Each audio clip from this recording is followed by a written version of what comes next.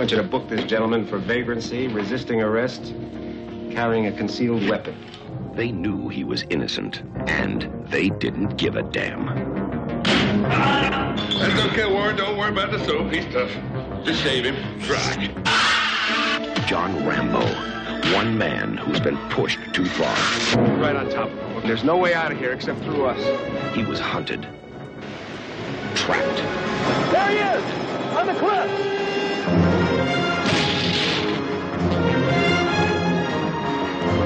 And forced to fight back. Don't push it. Don't push it. I'll give you a war you won't believe.